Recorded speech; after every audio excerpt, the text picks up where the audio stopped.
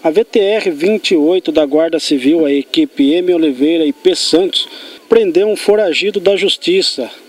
Segundo informações, ele estava ali próximo ao bairro Esplanada. Estou aqui com o M. Oliveira. Como que foi a apreensão ali? Você estava em deslocamento? Isso, estávamos em patrulhamento pela Travessa Esplanada, quando nos deparamos com um indivíduo sentado num banco. Ao ver a viatura, ele levantou e saiu andando, assustado, né?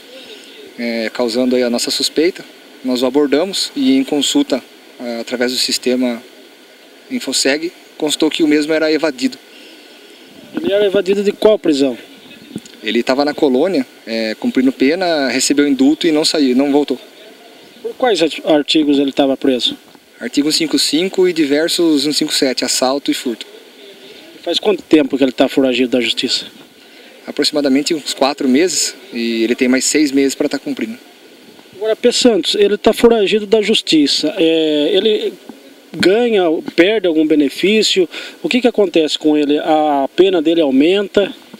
Não, a pena não aumenta. Ele perde os benefícios de saidinha e passa a contar novamente o tempo que ele tem para cumprir a partir do dia que ele é capturado. Né?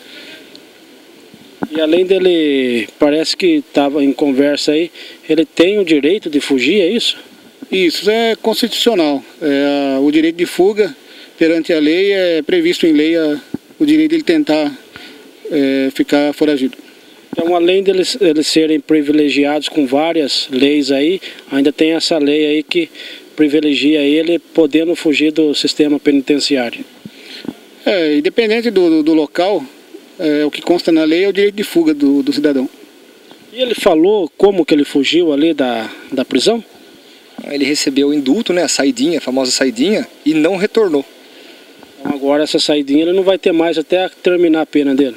Isso, agora provavelmente ele vai perder o benefício, né, e vai cumprir esses seis meses direto, sem o direito à saidinha. A pena não vai aumentar, como o Pessando já falou, né, porque legalmente não existe uma punição para quem foge. É um direito dele fugir ou tentar fugir.